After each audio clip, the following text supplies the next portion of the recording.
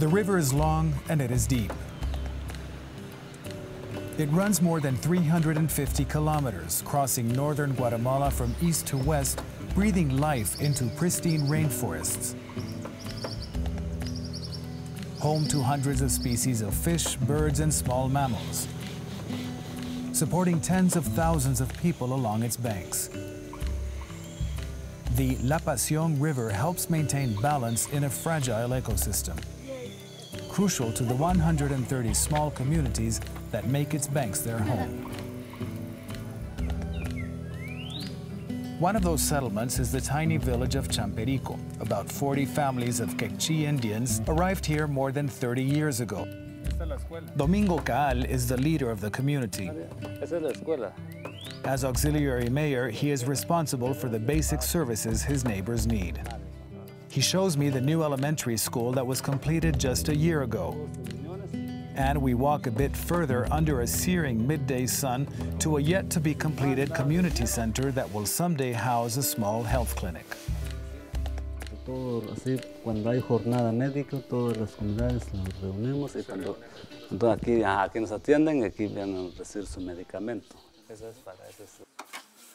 Small steps towards making life easier for Champerico and its people. But more recent public works around the village have darker origins. Roads were cut in the village last July by a farming company called Repsa, one of the largest producers of African palm in the region. They cut the roads to allow water trucks easy access to the villagers' homes. They also built concrete reinforcements around a natural spring to provide a well of fresh, clean water to the community. Why?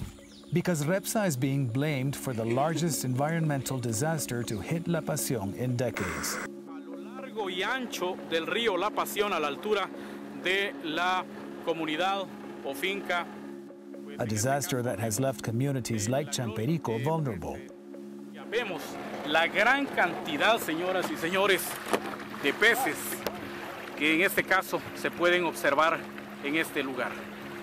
Es lamentable, es sumamente lamentable la situación que se está dando acá porque no hay palabras que puedan de alguna manera sanar lo que en esta oportunidad está padeciendo y viviendo la región del municipio de Sayachepetén y sobre todo de la región del departamento de Petén.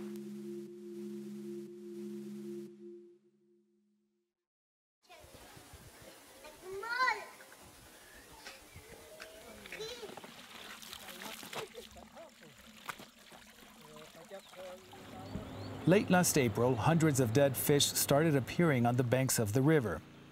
An as yet to be identified spill had apparently contaminated its waters. Unusually heavy rains in the area caused containment tanks used at Repsa processing plants like this one to overflow, dumping thousands of liters of residual water into the river. And then, two months later, another disaster.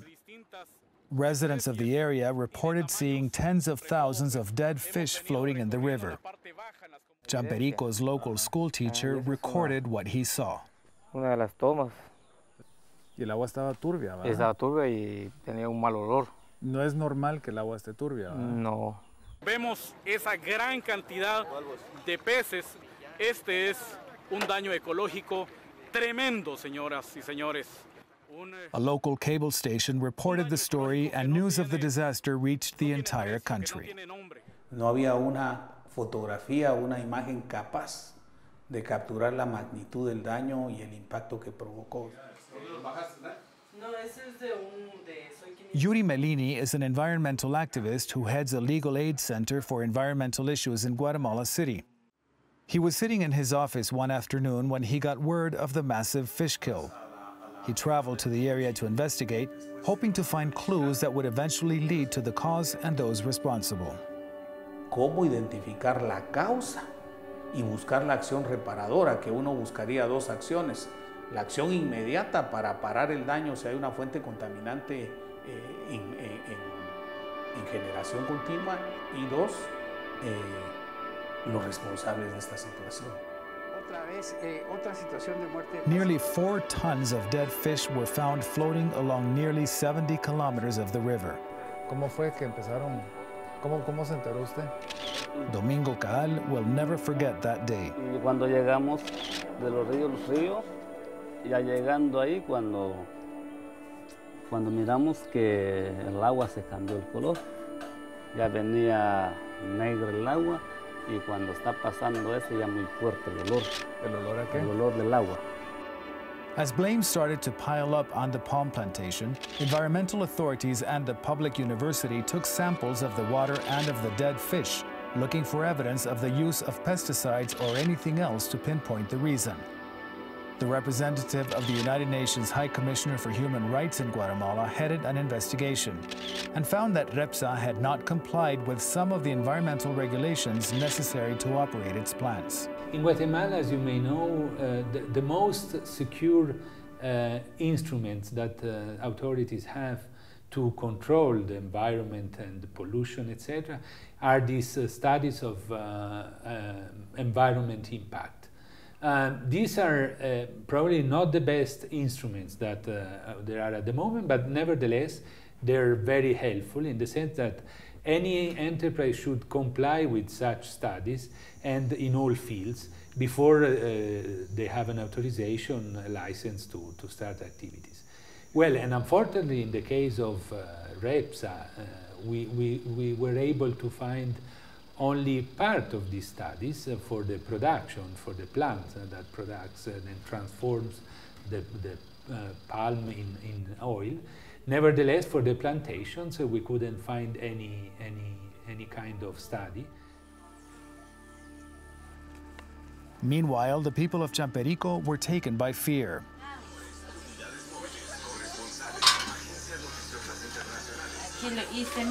Erlinda Ku is just one of the housewives who no longer has fish to feed her family. Nowadays, her family only eats protein once every two weeks when she kills one of her valuable chickens. The day we visited, Erlinda agreed to walk down to the river's edge. It was the first time she had done so since the incident two months before. Y yo miro que ahorita ya no hay pescado. Y eso es lo que yo siento porque... Y cuando había pescado se miraba el pescado, brincaba, saltaba y ahorita... A mí me da mucha tristeza cuando así, cuando se murieron los pescados. Da lástima ver. Y a tiempo que nos dijeron que veneno tenía, y ahí ya con pena fuimos a agarrar pescado, venimos. Mucha familia bajó a agarrar pescado.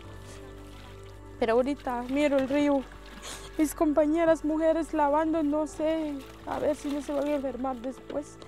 Yo prefiero jalar mi agua y no venir aquí, aunque sea por poquito, voy a lavar mi ropa, digo, pues. As villagers along the river's banks come to terms with the disaster, the blame game is on full force. Bueno, esa es la discusión y ese es el gran desafío, ¿verdad? Eh, la investigación de la verdad eh, y el la historia con todos sus antecedentes y eso es lo que provoca tener desde el punto de vista de la investigación criminal una hipótesis con ciertas líneas de investigación que identifiquen qué pudo haber causado. Hasta ahora, más del 50% de la hipótesis general y de las líneas de investigación se dirigen a identificar que la empresa puede haber provocado la fuente generadora de la contaminación y a partir de ahí de venirse el hecho. Pero hay otras líneas de investigación adicionales que también no deberían de descuidarse. Coronel, buenas tardes. Eh, le saluda Harris Whitbeck. We tried to visit the Repsa plants and the palm plantations to get a first-hand look at what many were saying was the source of the contamination. We were refused entry, so we tried another way. So officials from REPSA have told us that they cannot allow us onto their land to take some pictures. So what we've done is we've crossed the river to the bank opposite the plantation and we're going to use a quadricopter with a camera attached to it so that we can fly over the zone, take a look at the African palm and also take a look at the processing plant from which the contaminants are alleged to have entered the river. Seen from the air, the Repsa plantations are a sea of green African palm. the species imported from Africa to produce palm oil. Its growth has been so huge since it was first introduced to Guatemala in the early 2000s that the country is now one of the top 10 leading producers of palm oil in the world. And the amount of land used to harvest African palm grew nearly 600% in the decade between 2000 and 2010. The demand for land put pressure on local communities. Human rights and labor activists say thousands of families were forced to sell their plots of land to big palm companies as they encroached on the area. REPSA says it cannot control what some of its agents do to obtain land and insists it pays what it considers a fair price for land. And representatives of the industry as a whole say it is being unfairly targeted. Hemos estado, digamos, buscando todos las, los espacios disponibles para que la palmicultura en Guatemala sea una palmicultura sostenible. Nosotros nos hemos establecido principalmente en áreas que eran destinadas a la ganadería. Entonces, cuando uno hace un análisis entre qué es mejor, la ganadería que genera eh, probablemente una, uno o dos empleos en tantas hectáreas, eh, si creemos que La Palma viene a ser, digamos, parte de la solución a, a esta situación. They took us to visit what they consider a model palm processing plant in the La Pasión Basin. Lo que tenemos aquí atrás es nuestra caldera, es a que, alimentada con el mismo combustible nuestro, nuestra fibra. Con eso producimos vapor para mover nuestra planta y además vapor para generar para mover nuestra turbina, con la cual generamos energía. Somos autosuficientes. They showed off the environmental containment measures they say are standard in the industry. Tenemos este dique de contención donde lo pueden ver alrededor y pues pueden ver aquí abajo el nacimiento de agua limpia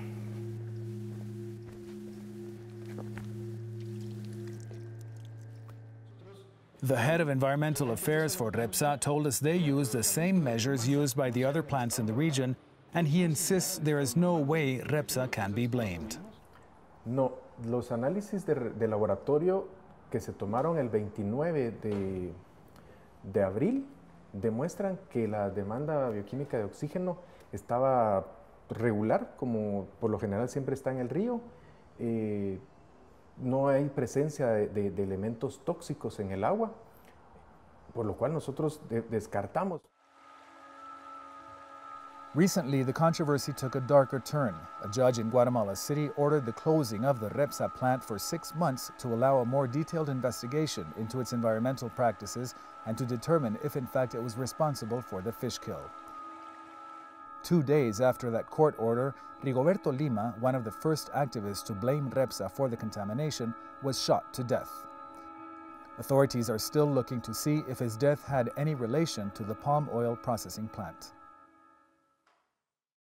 Otra línea tendría que ver con otras actividades que en la zona ocurren y, y, que son conocidas públicamente, pero que no están definidas, como la existencia de narcolaboratorios en la zona que utilizan químicos y precursores y que alguna de esas situaciones hubiera provocado, por ejemplo.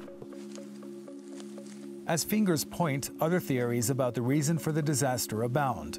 The governor of the region said on local radio drug trafficking could be involved. The area is known for housing clandestine drug laboratories in the jungle, and some believe chemical precursors used to manufacture drugs could have been dumped into the water, causing the massive kill. But until results from laboratory analysis are returned and verified by the courts, there is no clear answer to the question of what happened on the La Pasión River. Al día de hoy, podríamos decir que existe un misterio sobre qué provocó el hecho. aun cuando está el evidente contundente ahí, tanto científica como eh, audiovisual, de que el hecho sí ocurrió. Uh -huh. ¿Quién lo provocó? Esa es la discusión. Meanwhile, as the river's waters continue to flow by Champerico and the dozens of other communities like it, people struggle to get back to normal. Women have started washing in the river again and fishing. and children once again tentatively play in its waters. All of them not knowing fully if the river is as safe as it had been before, and uneasy about the relationship they and the river have with the palm plantations that now dominate their home.